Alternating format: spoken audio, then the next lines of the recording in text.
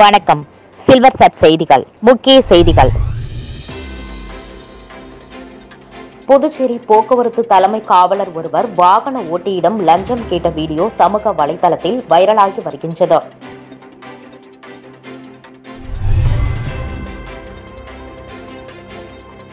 மரக்காணம் அருகே கைப்பனிக்குப்பம் மீனவ பகுதியில் கோஷ்டி மோதலால் நான்கு பேர் தலையில் பலத்த காயம்.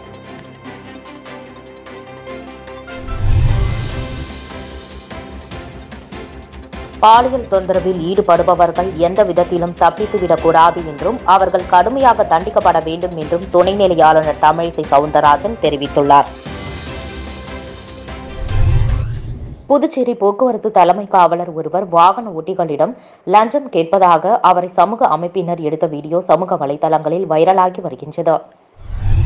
புதுச்சேரி கிழக்கு போக்குவரத்து காவல் நிலையத்தில் தலைமை காவலராக பணியாற்றி வருபவர் பிரகாஷ். இவர் கடற்கரை அருகே உள்ள சாலையில் இன்று காலை பணியில் ஒரு வேன் அருகே நின்று கொண்டிருந்தபோது சமூக அமைப்பை சேர்ந்த சிலர் அவரை தங்களின் செல்போனில் வீடியோ எடுத்தவாறே அவ்வழியே வந்து செல்லும் வாகனங்களிடம் ஏன் லஞ்சம் வாங்கிறீர்கள் என ஒருமையில் கேட்கின்றனர். அப்போது தலைமை காவலர் பிரகாஷ் இனி இது போன்று நடக்காது மன்னித்து விடுங்கள் மன்னித்து விடுங்கள் என கூறிக்கொண்டே தனது இருசக்கர வாகனத்தை எடுத்து செல்கிறார். அப்போது வீடியோ எடுக்கும் நபர் இது தொடர்பாக டிஜிபியிடம் புகார் அளிக்கப் போவதாக தெரிவிக்கிறார். இந்த வீடியோவானது தற்போது சமூக வலைதளங்களில் வைரலாகி பரவி வருகின்றது. இது தொடர்பாக கிழக்கு போக்குவரத்து போலீசாரிடம் கேட்டபோது தலைமை காவலர் பிரகாஷ் இன்று காலை பணியில் இருந்தபோது நோ பார்க்கிங்கில் நிறுத்தப்பட்டிருந்த வேனை எடுக்க சொன்னதாகவும் அப்போது அங்கு வந்த சமூக அமைப்பினர் சிலர் திடீரென வீடியோ எடுத்ததில் பிரகாஷ் பதட்டமடைந்து மன்னித்து விடுங்கள் என கூறியதாக தெரிவித்துள்ளனர். மேலும் தலைமை காவலர் பிரகாஷிடம் நாளை விளக்க அறிக்கை கேட்கப்பட்டுள்ளது என்றும் அது கிடைத்த பிறகே துறை ரீதியான நடவடிக்கை எடுக்கப்படுமா என்பது குறித்து முடிவு செய்யப்படும் என போலீசார் தகவல் தெரிவித்துள்ளனர். நான் கேட்கறது bus sir okay sir okay sir கொடுங்க சார். சார் நீ வந்து நிறைய தப்பு நீ ஒருத்தர் இன்னொருத்தர் ஹெல்மெட் போட்டுக்கிறீங்க. ரெண்டு பேரும் நிறைய தப்பு கோச்சிக்காதீங்க தெரியும் சொல்றது இதே நான் கோச்சிக்கிறது இல்லை உன் டிபார்ட்மெண்ட்டுக்கு நான் வரேன். நான் கோச்சிக்கிறதுலாம் இல்லை. உன் டிபார்ட்மெண்ட்டுக்கு நானும் வரேன். நீ வாங்குறது உன்னை டெய்லியும் நான் கண்காணிச்சு தான் இருக்கிறேன். உனக்கு மாசம் ஆகணும் தொண்ணூறாயிரம் சம்பளம். உன்னோட வேலை என்ன? நான் கேட்குறது போய் சொல்லு உன்னோட வேலை என்ன? கேட்டையா இங்க வா. உன்னோட வேலை என்ன? அது சொல்லு. உனக்கு காவல்துறையில் சம்பளம் கொடுக்கலையா? லஞ்சத்தை வாங்க சொல்கிறாங்களா அப்பப்போ நான் கேட்குறது போய் சொல்லு. மரக்காணம் அருகே கைப்பனிக்குப்பம் மீனவ பகுதியில் கோஷ்டி மோதலால் நான்கு பேர் தலையில் பலத்த காயம் அடைந்தது. இதனால் அப்பகுதியில் பெரும் பதற்றம் நிலவி வருகின்றது. வங்கக்கடலில் குறைந்த காற்றழுத்த தாழ்வு மண்டலம் உருவாகியுள்ளது. இதன் காரணமாக மீனவர்கள் மீன்பிடிக்க கடலுக்குள் செல்ல வேண்டாம் என்று மீன்வளத்துறை அதிகாரிகள் தடை விதித்துள்ளனர். இந்நிலையில் விழுப்புரம் மாவட்டம் மரக்காணம் பேரூராட்சிக்குட்பட்ட கைப்பனிக்குப்பம் மீனவர் பகுதியைச் சேர்ந்த இளையராஜா அரசு விதித்த தடையை மீறி நேற்று முன்தினம் மீன்பிடிக்க கடலுக்கு சென்றுள்ளார். இதனை பார்த்த அதே கிராமத்தை சேர்ந்த கார்த்தி ஏன் தடையை மீறி மீன்பிடிக்க கடலுக்குள் சென்று? என்று கேட்டுள்ளார். இதனால் கார்த்திக்கும் இளையராஜாவிற்கும் வாக்குவாதம் ஏற்பட்டுள்ளது. இதனைத் தொடர்ந்து இளையராஜா மற்றும் அவருக்கு ஆதரவாக பேசிய கார்த்தி ஆகிய இரண்டு பேரின் பைபர் படகுகளை கடற்கரை ஓரமிருந்து பாதுகாப்பாக டிராக்டர் மூலம் இழுத்து செல்லக்கூடாது என்று பஞ்சாயத்து குழுவினர் தடை விதித்துள்ளனர். இதனை பார்த்த இளையராஜா மற்றும் அவரது உறவினர்கள் நேற்று முன்தினம் மரக்காணம் காவல் நிலையத்தில் புகார் கொடுத்துள்ளனர். இந்நிலையில் இன்று இளையராஜா தரப்பிற்கும் இவரை தட்டி கேட்ட கார்த்திக் தரப்பிற்கும் மீண்டும் வாக்குவாதம் ஏற்பட்டு சண்டையாக மாறியது. இதனால் கோபம் அடைந்த இரண்டு கோஷ்டிகளையும் சேர்ந்தவர்கள் இரும்பு பைப் தடி போன்ற ஆயுதங்களை கொண்டு தாக்கிக் கொண்டனர். இதில் இரண்டு தரப்பையும் சேர்ந்த சோலைவள்ளி சத்தியமூர்த்தி மேகாயன் உட்பட நான்கு பேரின் மண்டை உடைந்தது. படுகாயமடைந்தவர்களை அவர்களது அக்கம் பக்கத்தினர் மீட்டு மரக்காணம் அரசு மருத்துவமனைக்கு அழைத்து வந்து சிகிச்சை அளித்தனர். இது பற்றி தகவல் அறிந்த மரக்காணம் போலீசார் சம்பவ இடத்திற்கு சென்று மேற்கொண்டு அசம்பாவிதம் நடைபெறாமல் இருக்க அங்கு கூடியிருந்த அவர்களை விரட்டியடித்தனர்.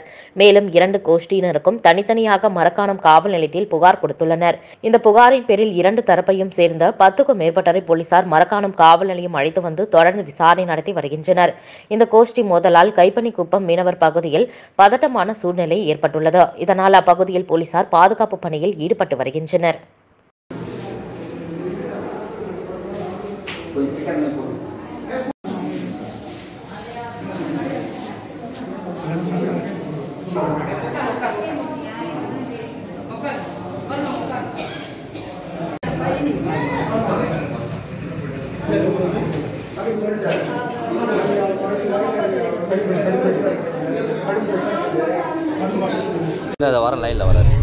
பாலியல் தொந்தரவில் ஈடுபடுபவர்கள் எந்த விதத்திலும் தப்பித்து விடக்கூடாது என்றும் அவர்கள் கடுமையாக தண்டிக்கப்பட வேண்டும் என்று துணைநிலை ஆளுநர் தமிழிசை சவுந்தரராஜன் தெரிவித்துள்ளார்.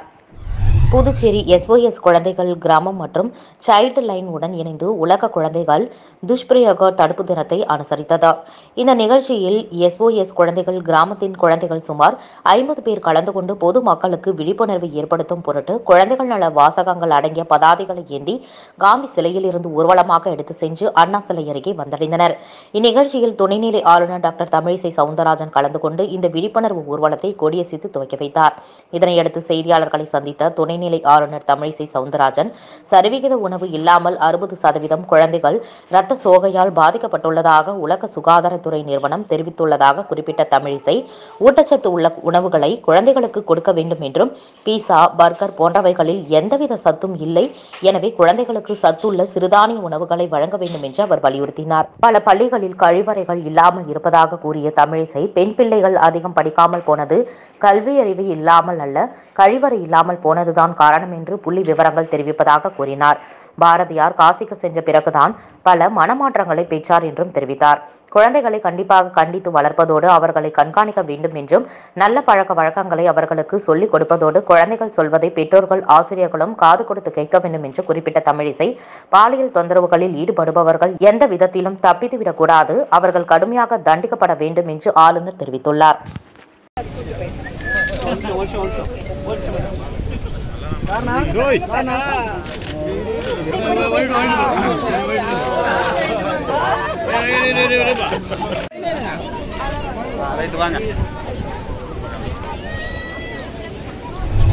புதுச்சேரி ஜிப்மர் மருத்துவமனை வேலைவாய்ப்பிலும் இருபத்தி ஆறு சதவீத இடஒதுக்கீட்டை வலியுறுத்தி நாளை அதிமுக சார்பில் ஜிப்மர் மருத்துவமனை எதிரில் மாபெரும் கண்ணன் ஆர்ப்பாட்டம் நடைபெறும் என கிழக்கு மாநில செயலாளர் அறிவித்துள்ளார். புதுச்சேரி கிழக்கு மாநில செயலாளர் அன்பழகன் உப்பளம் சாலையில் உள்ள அதிமுக அலுவலகத்தில் செய்தியாளர்களை சந்தித்தார். அப்போது புதுச்சேரியில் இயங்கும் ஜிப்மர் நிர்வாகத்தின் வேலைவாய்ப்பில் புதுச்சேரி மாநில உரிமை முழுமையாக பறிக்கப்படுகிறது என்றும் ஜிப்மரில் மருத்துவர் செவிலியர் டெக்னீஷியன்கள் உள்ளிட்ட அனைத்து வேலைவாய்ப்புகளிலும் புதுச்சேரி மாநிலத்திற்கு உரிய இட ஒதுக்கீடு வழங்காமல் இந்திய அளவில் தேர்வு நடத்துவது என்பது அநீதியாகும் என்றார். தொடர்ந்து ஜிப்மரில் மருத்துவ படிப்பில் இருபத்தி ஆறு புள்ளி ஐந்து சதவீத இட ஒதுக்கீடு வழங்கும்போது ஜிப்மர் மருத்துவமனை வேலைவாய்ப்பிலும் இருபத்தி ஆறு சதவீத இடஒதுக்கீட்டை புதுச்சேரி மாநிலத்தை சேர்ந்த தகுதியான படித்த இளைஞர்கள் மற்றும் இளைஞர்களுக்கு வழங்க வேண்டும் என வலியுறுத்தி நாளை காலை ஒன்பது முப்பது மணியளவில் ஜிப்மர் மருத்துவமனை எதிரில் சார்பில் மாபெரும் கண்டன ஆர்ப்பாட்டம் நடைபெறும் என்றும் தெரிவித்தார். மேலும் மழையால் பாதிக்கப்பட்ட ஆட்டோ கட்டிட தொழிலாளர் உட்பட பல்வேறு தொழிலாளர்களுக்கு ஐந்தாயிரம் ரூபாய் நிவாரணம் வழங்க வேண்டும் என கோரிக்கை வைத்துள்ளார். செவிலியர் டெக்னீஷியன்கள் உதவியாளர்கள். ஏன்னா ஆயிரக்கணக்கான பணிகளுக்கு இப்பொழுது ஆட்கள் நியமனம் செய்ய வேண்டிய அந்த அடிப்படையில் ஒரு நானூற்றி அம் நானூற்றி ஐம்பதுக்கும் மேற்பட்ட செவிலியர் பணியிடங்கள் நிரப்பப்படுவதில் புதுச்சேரி மாநிலத்திற்கு தனி இடஒதுக்கீடு அளித்தார். ஒரு நூற்றுக்கும் மேற்பட்ட இவர்கள் புதுச்சேரியை சேர்ந்த படித்த இளைஞர்கள் மற்ற இளைஞர்களுக்கு வேலைவாய்ப்பு கிடைக்கும். இது தேசிய அளவில் வந்து இந்த வேலைவாய்ப்பு நடத்தப்படுவதால் தமிழ் மொழி தெரியாதவர்கள்லாம் ஆயிரக்கணக்கான பேர் இந்த மருத்துவமனையில் பணிக்கு சேருவதால் நோயாளிகளும் மிகுந்த சிரமத்துக்கு ஆளாக்கப்படுகிறார் புதுச்சேரி ஆளுநர் மாளிகையில் நடைபெற்ற மக்கள் சந்திப்பு நிகழ்வில் துணைநிலை ஆளுநர் தமிழிசை பொதுமக்களிடம் குறைகளை கேட்டறிந்தார். புதுச்சேரியில் உள்ள மக்களின் குறைகளை தீர்க்கும் வகையில் மாதத்தில் இருமுறை துணைநிலை ஆளுநர் தமிழிசை சவுந்தரராஜன் ஆளுநர் மாளிகையில் மக்களை சந்தித்து குறைகளை கேட்டறிந்து வருகின்றார். அந்த வகையில் இந்த மாதத்திற்கான மக்கள் சந்திப்பு நிகழ்ச்சி நடைபெற்றது. பல்வேறு தரப்பட்ட மக்கள் தங்கள் குறைபாடுகளையும் கோரிக்கைகளையும் துணைநிலை ஆளுநர் தமிழிசை சவுந்தரராஜனிடம் வழங்கினார்.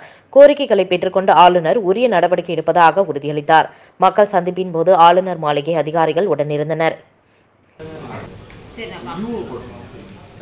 ஃபைல் மூவ் பண்ண மாட்டாங்க ஏறக்குறைய ரெண்டு வருஷமா நீங்கள் கொடுத்தே ஆக மாட்டேங்குது சரி நான்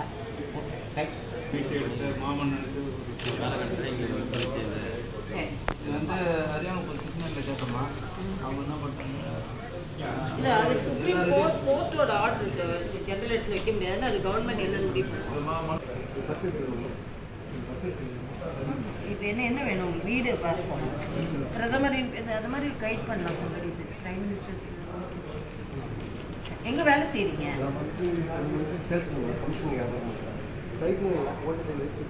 சைக்கிள் சரி அது பரவாயில்ல. நான் சைக்கிள் சரி சரி. வங்கக்கடலில் ஏற்பட்டுள்ள காற்றழுத்த தாழ்வு மண்டலம் காரணமாக புதுச்சேரியில் கனமழை பெய்யும் என்று வானிலை ஆய்வு மையம் எச்சரித்துள்ளதால் புதுச்சேரியில் ஏற்படும் அசாதாரண சூழ்நிலை சமாளிக்க அனைத்து துறைகளும் தயார் நிலையில் உள்ளதாக மாவட்ட ஆட்சியர் வல்லவன் தெரிவித்துள்ளார். புதுச்சேரியில் வரும் இருபதாம் தேதி முதல் இருபத்தி இரண்டாம் தேதி வரை கனமழை பெய்யும் என்று வானிலை ஆய்வு மையம் எச்சரித்துள்ள நிலையில் மாவட்ட ஆட்சியர் வல்லவன் தலைமையில் பேரிடர் மேலாண்மை கூட்டம் நடைபெற்றது. இதில் அரசின் அனைத்து துறைகளைச் சேர்ந்த அதிகாரிகள் பலர் கலந்து கொண்டனர். கூட்டத்தின் முடிவில் செய்தியாளர்களை சந்தித்த மாவட்ட ஆட்சியர் வரும் இருபதாம் தேதி முதல் புதுச்சேரியில் கனமழை பெய்யும் என வானிலை ஆய்வு மையம் தெரிவித்துள்ளதால் புதுச்சேரியில் அசாதாரண சூழ்நிலையை சமாளிக்க அனைத்து துறைகளும் தயார் நிலையில் உள்ளதாக தெரிவித்தார்.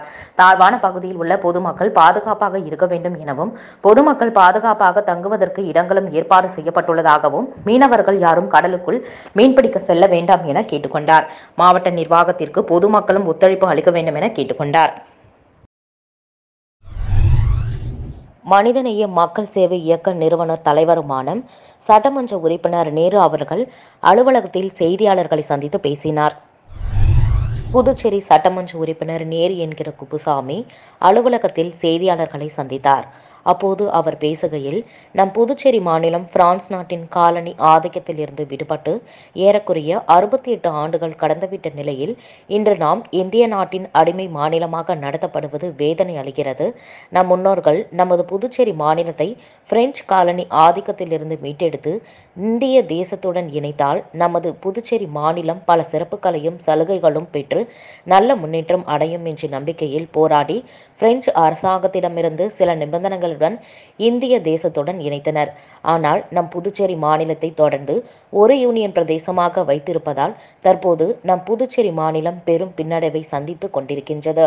அதே நேரத்தில் மத்தியில் ஆளும் அரசுகள் நம் புதுச்சேரி மாநிலத்தை ஒரு பொருட்டாக எடுத்துக்கொள்வதில்லை மத்திய அரசு புதிதாக கொண்டு வரும் திட்டங்களை யூனியன் பிரதேசமான நம் புதுச்சேரியில் ஆய்வு செய்யும் எளியாக பயன்படுத்துகிறார்கள். அந்த திட்டங்கள் மக்களுக்கு பயனளிக்குமா பயனளிக்காதா என்று ஆராயக்கூட நேரம் கொடுக்காமல் இது உள்துறை உத்தரவு. உடனே அமல்படுத்த வேண்டும் என்று ஆளுநரும் தலைமை செயலாளரும் ஐஏஎஸ் அதிகாரிகளும் மக்கள் மீது திணிக்கிறார்கள்.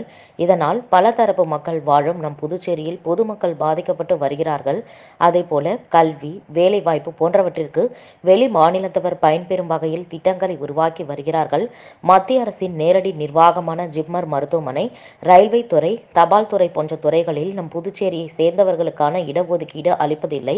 தற்போது ஜிப்மர் மருத்துவமனையில் செவிலியர் தேர்வுக்கான அறிவிப்பு வெளியாகி இருக்கிறது அதில் புதுச்சேரி மாணவர்களுக்கு எந்த ஒதுக்கீடும் இல்லாத நிலை உள்ளது. ஏற்கனவே ஜிப்மர் மருத்துவமனையில் மொழி பிரச்சினை உள்ளது. அங்கு வடநாடு மற்றும் வெளி மாநிலத்தவர்கள் அதிக அளவில் வேலைவாய்ப்பு பெற்றுள்ளனர். இதனால் அண்டை மாநிலமான தமிழ்நாடு மற்றும் புதுச்சேரி சேர்ந்த தமிழ் பேசும் நோயாளிகள் அங்கு சிகிச்சை பெற பெரும் சிரமத்திற்கு உள்ளாகிறார்கள். நம் புதுச்சேரி மாநிலத்தில் அரசு துறைகளில் பத்தாயிரத்திற்கும் மேற்பட்ட காலி பணியிடங்கள் உள்ளது. இந்த பணியிடங்கள் கடந்த ஏழு ஆண்டுகளாக நிரப்பப்படாமல் இருந்து வருகின்றது. அந்த காலி பணியிடங்களை உடனே நிரப்ப வேண்டும் என்றும் அதே நேரத்தில் வயது வரம்பை ஐந்து ஆண்டுகள் தளர்த்த வேண்டும் என்றும் சட்டமன்ற உறுப்பினர்கள் முதல்வரிடமும் சட்டமன்றத்திலும் தொடர்ந்து கோரிக்கை வைத்து வந்தனர். அதற்கு முதலமைச்சர் அவர்கள் சட்டமன்ற கூட்டத்தில் வயது வரம்பை தளர்த்தி வேலை வாய்ப்பிற்கான அறிவிப்பு வெளியாகும் என்று உறுதியளித்தார்.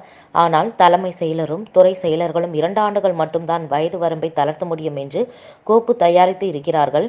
அதேபோல வேலை வாய்ப்பிற்கான அறிவிப்புகளில் இடஒதுக்கீடுகளை முறையாக பின்பற்றாமல் தான் தோன்றி தனமாக தலைமை செயலர் மற்றும் ஐஏஎஸ் அதிகாரிகள் செயல்படுகிறார்கள்.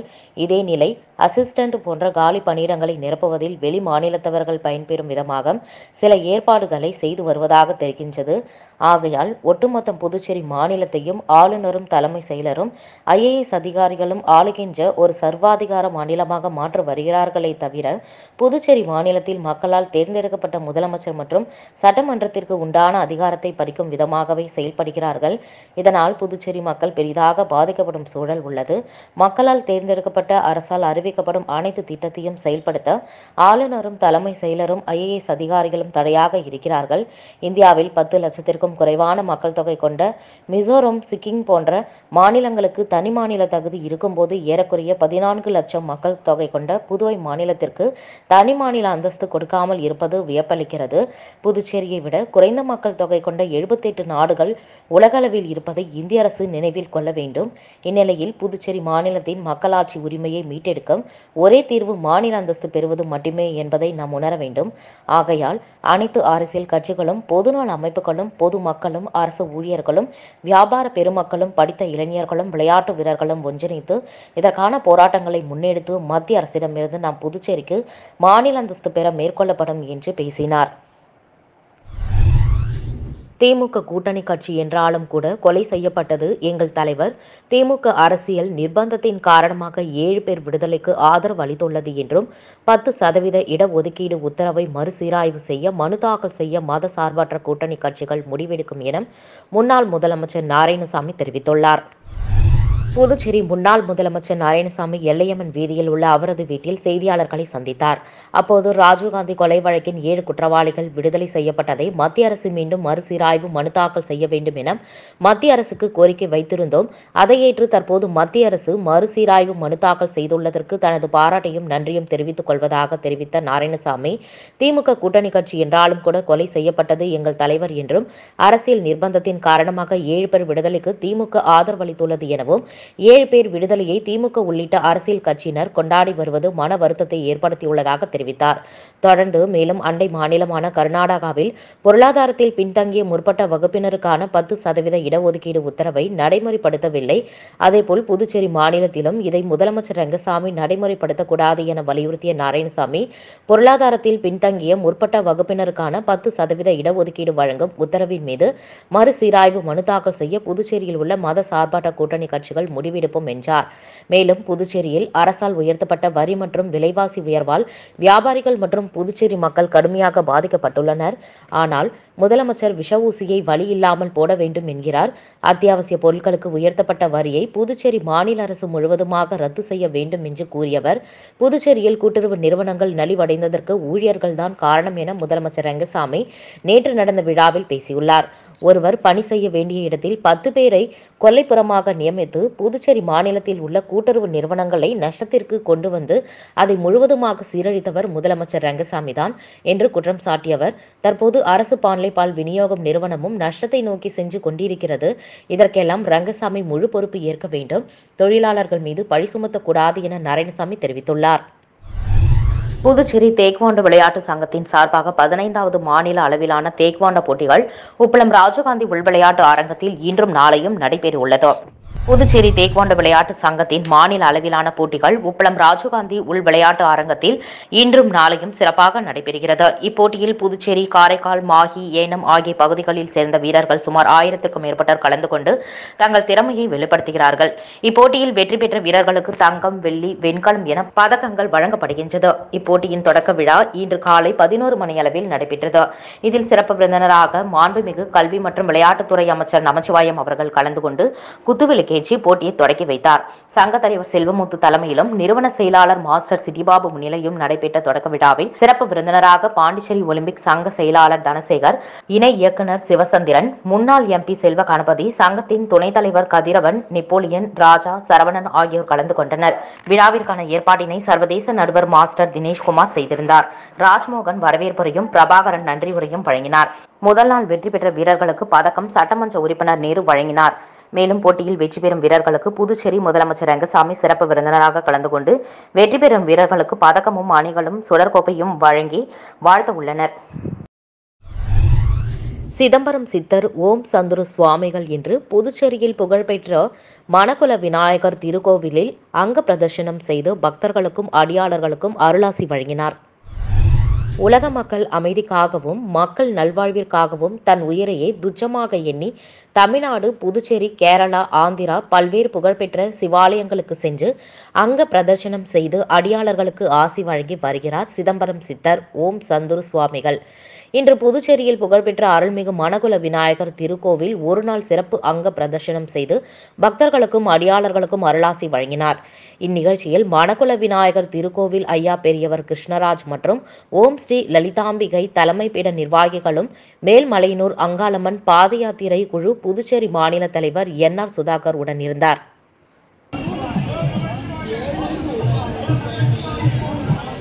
ஓம் நமச்சிவாயா.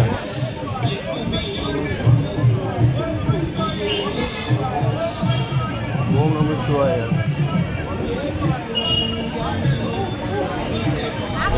புதுச்சேரி உப்பளம் தொகுதியில் ரூபாய் பத்து புள்ளி ஐந்து கோடி மதிப்பீட்டில் அடுக்குமாடி குடியிருப்புகள் மற்றும் நவீன மீன் அங்காடிகள் கட்டுமான பணிகள் திமுக சட்டமன்ற உறுப்பினர் அனிபால் கன்னடி தலைமையில் இன்று தொடங்கப்பட்டது. புதுச்சேரி உப்பளம் தொகுதியில் ஸ்மார்ட் சிட்டி திட்டத்தின் கீழ் ரூபாய் பத்து புள்ளி ஐந்து கோடி மதிப்பீட்டில் ஏழை மக்களுக்கு அடுக்குமாடி குடியிருப்புகள் மற்றும் நவீன மீன் விற்பனை அங்காடி கட்டுமான பணிகள் இன்று தொடங்கப்பட்டது. உப்பளம் தொகுதியின் திமுக சட்டமன்ற உறுப்பினர் அனிபால் கென்னடி தலைமையில் நடைபெற்ற தொடக்க விழாவில் சிறப்பு விருந்தினர்களாக முதலமைச்சர் ரங்கசாமி மற்றும் அமைச்சர் லட்சுமி நாராயணன் கலந்து கொண்டு பூமி பூஜை செய்து பணிகளை தொடங்கி வைத்தார். இந்நிகழ்ச்சியில் அரசு அதிகாரிகள் திமுக நிர்வாகிகள் மற்றும் ஊர் பொதுமக்கள் என திரளானோர் கலந்து கொண்டனர். புதுச்சேரி புனித பேட்ரிக் மெட்ரிக் மேல்நிலைப் பள்ளியில் குழந்தைகள் தின விழா மிக சிறப்பாக கொண்டாடப்பட்டது. புதுவை புனித பேட்ரிக் மெட்ரிக் மேல்நிலைப் பள்ளியில் குழந்தைகள் தின விழா கொண்டாடப்பட்டது. ஐந்தாம் வகுப்பு மாணவி அபிகேல் மைக்கேல் நிறைன் வரவேற்றார். குழந்தைகள் தின சிறப்புகள் பற்றி நான்காம் வகுப்பு மாணவர் ஆதித்யா ஆங்கிலத்திலும் மாணவி ஹென்சிகா தமிழிலும் பேசினார். பள்ளி ஆலோசனை குழு உறுப்பினர் பங்கு தந்தை ஜோசப்பால் தலைமை தாங்கினார். பத்மாவதி மருத்துவமனை இயக்குனர் இளங்கோவன் பள்ளியின் முன்னாள் மாணவர் ராஜராஜன் சிவராஜ் ஆகியோர் சிறப்பு அழைப்பாளர்களாக கலந்து கொண்டனர். பள்ளி தாளாளர் பிரட்ரிக் விருந்தினர்களை அறிமுகப்படுத்தி வாழ்த்து பேசினார்.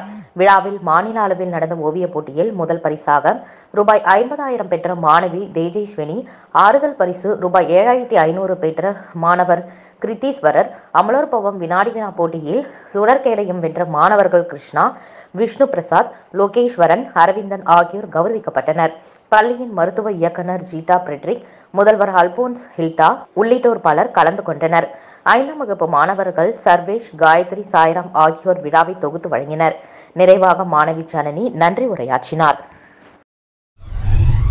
வில்லியனூர் அடுத்துள்ள ஆரியபாளையம் கிராமத்தில் எழுந்தருளியுள்ள அருள்மிகு அபிராமி அன்னை உடனுரை அமுதீஸ்வரர் ஆலயத்தில் திருக்கல்யாண உற்சவம் வெகு சிறப்பாக நடைபெற்றது. வில்லியனூர் கொம்மின் ஆரியபாளையம் கிராமத்தில் வேதபுரி ஆதீனம் அபிராமி மடத்தில் எழுந்தருளியுள்ள அருள்மிகு அபிராமி அன்னை உடனுரை அமுதீஸ்வரர் பெருமாள் திருக்கல்யாண உற்சவம் வெகு சிறப்பாக நடைபெற்றது. முன்னதாக இவ்வாலயத்தில் உள்ள சிவபெருமானுக்கு பால் தயிர் சந்தனம் பன்னீர் உள்ளிட்ட பலவிதமான திரவியங்களால் ஆன சிறப்பு அபிஷேகங்கள் நடைபெற்றது. இதனைத் தொடர்ந்து உற்சவர் மூர்த்திக்கு சிறப்பு அலங்காரம் செய்யப்பட்டு விக்னேஸ்வர பூஜை அக்னி பூஜை நவக்கிரக பூஜை உள்ளிட்ட யாகங்கள் செய்து தவசிகள் பாபுசாது கையிலை புனிதர் நமச்சிவாய தேவியம்மாள் தவத்திரு ஸ்ரீ ஆதியோகி அண்ணாமலை சந்திரசேகர் சுவாமிகள் தவத்திரு மருதூர் குமாரசுவாமி சுவாமிகள் தவத்திரு ஸ்ரீ பனமலை சித்தர் எத்திராஜ் உள்ளிட்ட சித்தர்கள் தவசிகள் தலைமையேற்க திருக்கல்யாண உற்சவம் வெகு சிறப்பாக நடைபெற்றது. இதில் ஏராளமான சிவனடியார்கள் மற்றும் நூற்றுக்கணக்கான பக்தர்கள் கலந்து கொண்டு சுவாமி தரிசனம் செய்து சிவபெருமானை வழிபட்டனர். மேலும் விழாவில் பக்தர்கள் அனைவருக்கும் அருப்பிரசாதமும் அன்னதானமும் வழங்கப்பட்டது. இவ்விழாவிற்கான ஏற்பாடுகளை ஆலய நிர்வாக குழுவினர் சிறப்பாக செய்திருந்தனர்.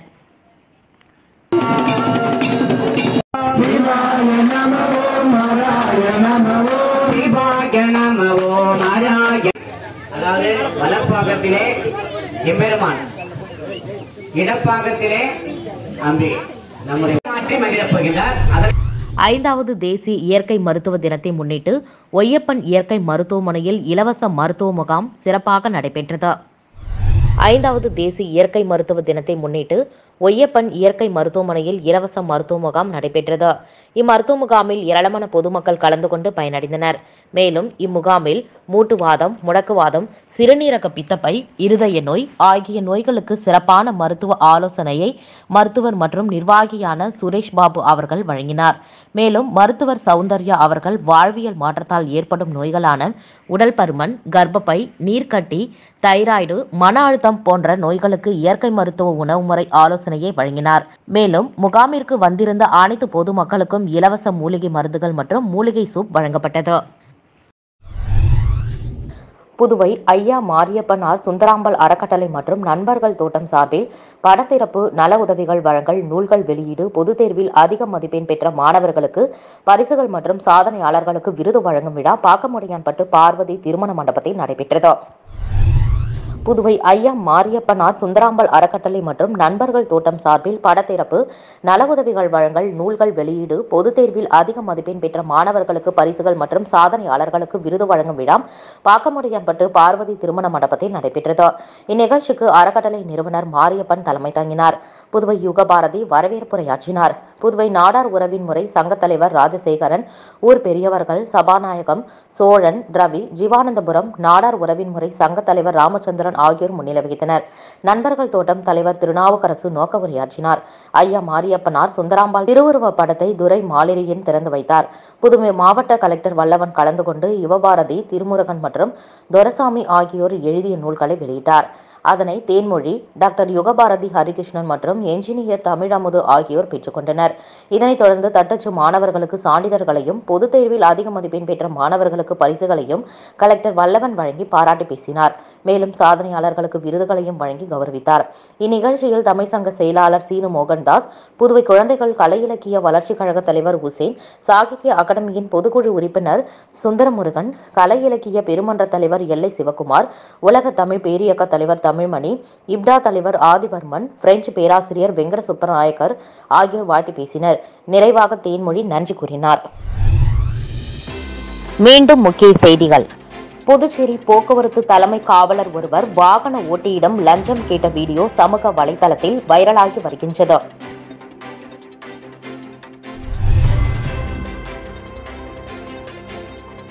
மரக்காணம் அருகே கைப்பனிக்குப்பம் மீனவ பகுதியில் கோஷ்டி மோதலால் நான்கு பேர் தலையில் பலத்த காயம்.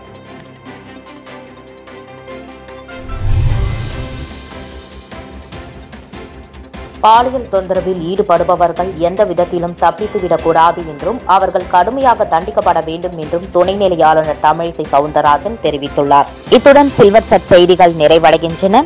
வணக்கம்.